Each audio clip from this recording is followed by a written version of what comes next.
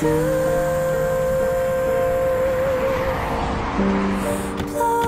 out the candles and make all my wishes come. What if all of the hardships had something to prove?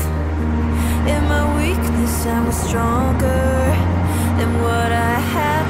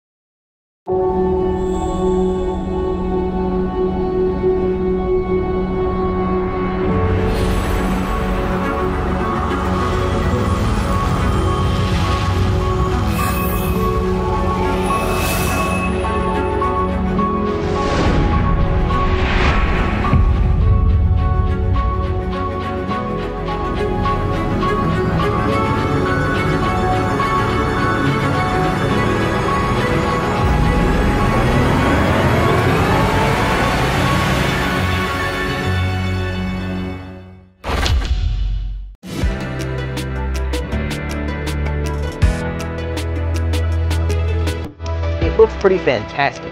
I like this function. Now it's very comfortable.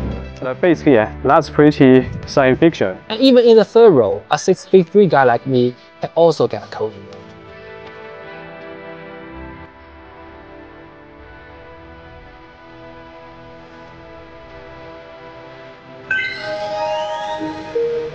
GP 已开启。 I really hope company the Xiaopeng will be more uh, moving in this way because the autopiloting is the future. We've established that this electric MPV is very good to drive and can even drive yourself.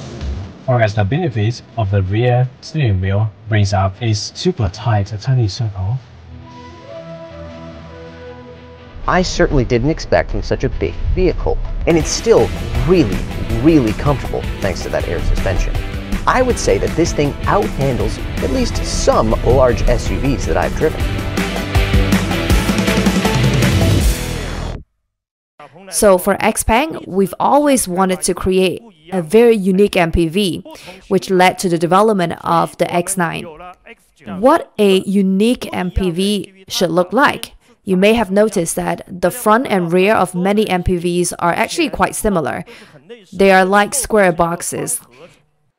And so we have always strived to create something different and unique. So for Xpeng's X9, we actually took inspiration from Starship, which we grow up watching in sci-fi movies.